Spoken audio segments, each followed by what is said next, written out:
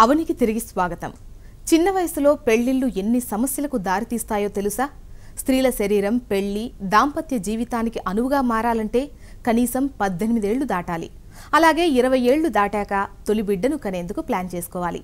పెళ్ళైన వెంటనే పిల్లలు పుట్టేస్తే ఇక బాధ్యతల బంధాలు వెంటాడుతాయి. దాంపత్య జీవితంలో మధురిములను ఆస్వాదించడానికి కుటుంబం పట్ల అవగాహన ప్రణాళిక వేసుకోవడానికి పెళ్ళయ్యాక కనీసం రెండేళ్ళు గ్యాప్ తీసుకొని ఆ తర్వాత తొలి బిడ్డకు ప్రయత్నించాలి. అప్పటికీ బిడ్డను కనేందుకు మానసికంగా శారీరకంగా సిద్ధంగా లేనట్లు అనిపిస్తే గర్భధారణను వాయిదా వేసుకోవాలి. బిడ్డను ఏ వయస్సులో కనాలి ఎప్పుడు కనాలి అన్న విషయంలో పూర్తి స్వేచ్ఛ ఆడవారికే ఉండాలి. కానీ దురదృష్టం ఏంటంటే మన సమాజంలో మగవారే ఈ విషయం నిర్ణయిస్తారు. సరే ఈ విషయాన్ని మరింత ముచ్చటించుకుందాం. ఇప్పుడైతే ఈ కార్యక్రమం చూసేద్దాం.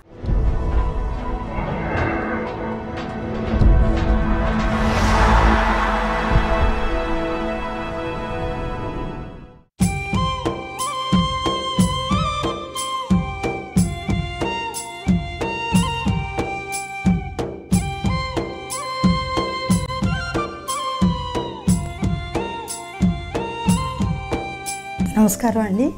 నా పేరు నేతల నీలవేణి. నేను స్టోన్ క్రాఫ్ట్ డిజైనర్ని. ఈ స్టోన్ క్రాఫ్ట్ ఎట్లా స్టార్ట్ అయిందంటే నైంటీ నైన్లో ఢిల్లీ వెళ్ళానండి. ఢిల్లీ వెళ్ళినప్పుడు అక్కడ గాంధీ సమాధి దగ్గర తెల్ల తెల్ల రాళ్ళు కనపడ్డాయి.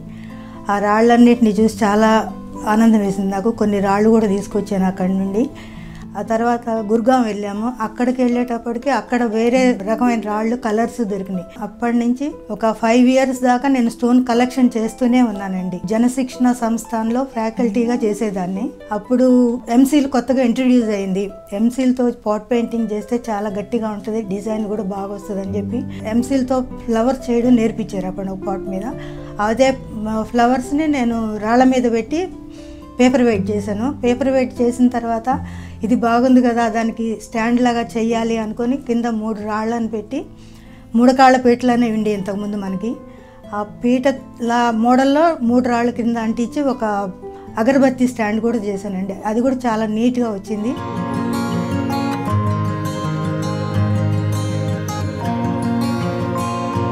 నేను యాక్చువల్గా స్పోర్ట్స్ పర్సన్ స్పోర్ట్స్కి వెళ్ళటం ద్వారానే నాకు ఈ స్టోన్స్ అన్నవి కలెక్షన్ జరుగుతూ ఉంటున్నాయి. అట్లాగే స్పోర్ట్స్కి వెళ్ళినప్పుడు కూడా నేను త్రీ ఫోర్త్ ఇండియా తిరిగాను. అక్కడికి వెళ్ళినప్పుడు నాకు ఏంటంటే ఈ మెటీరియల్ ఎక్కడెక్కడ దొరికితే ముందు ఇన్ఫర్మేషన్ తీసుకొని అక్కడికి వెళ్ళి ముందుగా ఈ మెటీరియల్సే కొంటానండి నేను. బెంగళూరులో ఎక్కువ భాగం మెటీరియల్ దొరుకుతుంది మనకి. తర్వాత ఢిల్లీలో దొరుకుతాయి. ఆల్ ఇండియా లెవెల్లోనే కాకుండా మన ఏపీ స్టేట్లో కూడా చాలా చోట్ల ఒక హండ్రెడ్ అబౌవ్ ఎగ్జిబిషన్స్ పెట్టి ఇవి సేల్ చేసుకుంటూ ఉంటానండి. ప్రస్తుతం అయితే నేను ఢిల్లీ రెండు సార్లు ఇంటర్నేషనల్ ట్రేడ్ ఫేర్కి వెళ్ళాను. సూరజ్ కుంజు ఇంటర్నేషనల్ ట్రేడ్ ఫేర్కి ఒకసారి వెళ్ళి వచ్చాను అట్లా కనీసం ఒక నూట యాభై ఎగ్జిబిషన్స్లో పార్టిసిపేట్ చేశాను.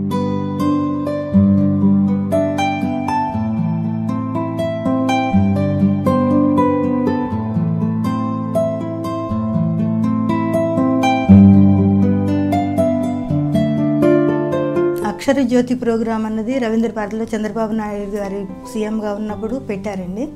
దానిలో నేను జనశిక్షణ సంస్థ ద్వారా పార్టిసిపేట్ చేశాను. చంద్రబాబు నాయుడు గారి గురించి చాలా మెచ్చుకున్నారు. ఇట్లా నేను ఇంకా చేస్తూ ఉండామా అని చెప్పి. అది నా ఫస్ట్ ఎగ్జిబిషన్ అండి. వంద పైన నాకు అవార్డ్స్ వచ్చినాయండి. కేసీఆర్ గారు కూడా నాకు టూ థౌజండ్ ఫోర్టీన్లో క్రిస్టియన్ ఆర్గనైజేషన్ ద్వారా వెండి పళ్ళాన్ని సర్టిఫికేట్ని ఒక ట్వంటీ థౌజండ్ క్యాష్ని కూడా నాకు ఇచ్చారు. దగ్గర దగ్గర నేను ఇప్పటివరకు పదిహేను వేల వెరైటీస్ చేశానండి.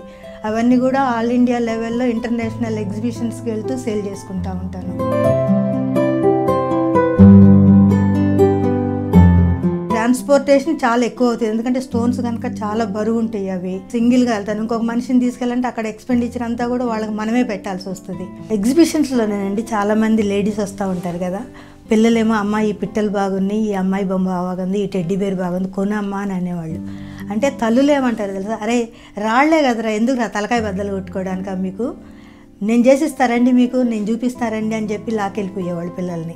అది చాలా బాధ అనిపించేది అమ్మ అట్లా కాదు మీరు ఇక్కడే ఉండండి నేను ఇస్తాను మెటీరియల్ మీ బాబుకి మీరు చేసి చూపించండి అని చెప్పిన సందర్భాలు కూడా చాలా ఉన్నాయండి. కాల్లో ఒక్కొక్కసారి లేనప్పుడు దొంగతనాలు కూడా జరుగుతూ ఉంటాయి మాకు.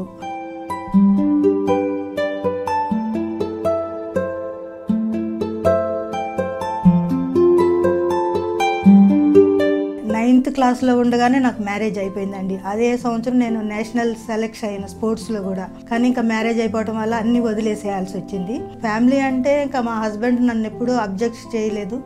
కానీ పిల్లలు ఏంటంటే నువ్వు పెద్దదాని అయిపోయామో నీకు ఎందుకు ఇవి? అప్పుడైతే ఎవరు ఏమనేవాళ్ళు కాదు కానీ పెద్దదాని అయిపోయి అరవై ఐదేళ్ళు వచ్చినాయి. ఇంకా నీకెందుకు ఇవి ఇంట్లో కూర్చోమని చెప్తున్నారు.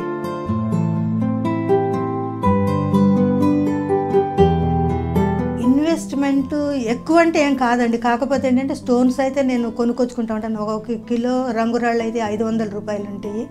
మామూలు అయితే మూడు వందల రూపాయలు ఉంటాయి. ఇంకా కలర్ స్టోన్స్ అయితే వెయ్యి రూపాయల దాకా కూడా ఉంటాయండి. కొన్ని నా ఓన్గా కూడా కలెక్షన్ చేసుకుంటాను ఎక్కడ సముద్రాలు నదులు ఉంటాయో వాటి దగ్గరికి వెళ్ళి కూడా కలెక్ట్ చేసుకుంటాను. అవి ఎక్స్పెండిచర్ కూడా అంత ఎక్కువ కాదు కానీ శ్రమ ఎక్కువ ఉంటుందండి నాకు.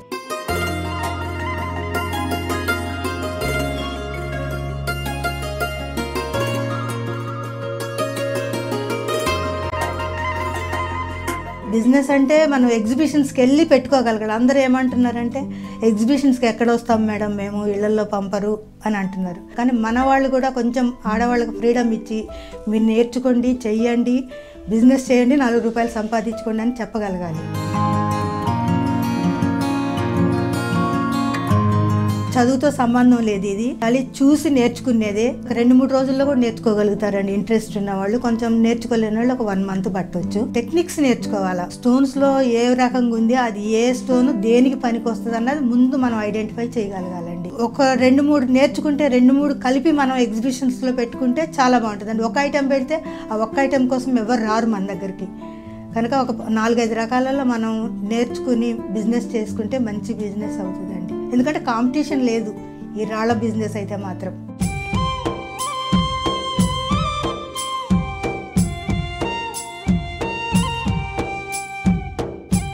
ఇప్పుడు చిన్న బ్రేక్ తీసుకుందాం. కానీ అంతకన్నా ముందు చిన్న చిట్కా చూసేద్దాం.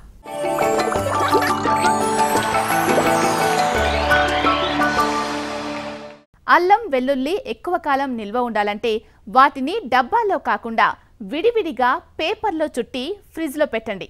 ఎక్కువ కాలం తాజాగా ఉంటాయి.